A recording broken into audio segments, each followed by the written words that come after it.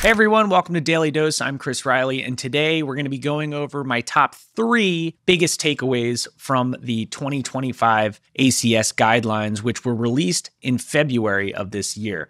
Now, this is a really big deal because this is the first time that there's a consensus document for cardiology, emergency medicine, pre hospital, and interventional specialties. So, my first big takeaway here is that posterior STEMI is still the most missed. We have to be on high alert for that posterior STEMI by looking at leads V1 through V3 and looking for that 0.5 millimeter ST depression. Remember, these depressions are going to be horizontal.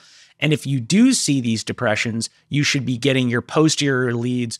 And once you get those new leads, they're going to replace your V4, V5, and V6 lateral leads. They're now going to be the V7, V8, and V9. If there's 0.5 millimeters of ST elevation in those leads, you should be calling a STEMI alert and sending that patient to the cath lab. Second biggest takeaway, which is a huge one that a lot of people emphasize, including the great Dr. Amal Mattu, and that would be serial ECGs.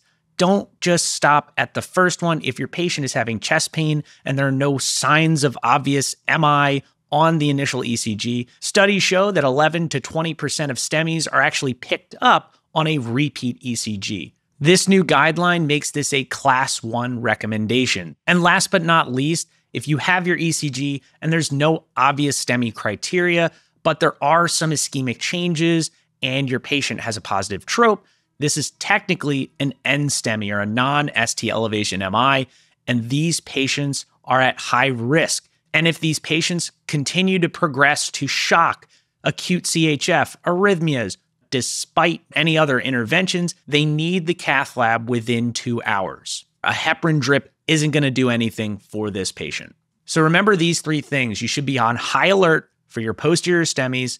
Second, serial ECGs. And three, any instability with NSTEMI or any progressive or worsening troponin elevation despite treatment needs to go to the cath lab within two hours. Remember, emergency medicine providers lead the charge in ACS care.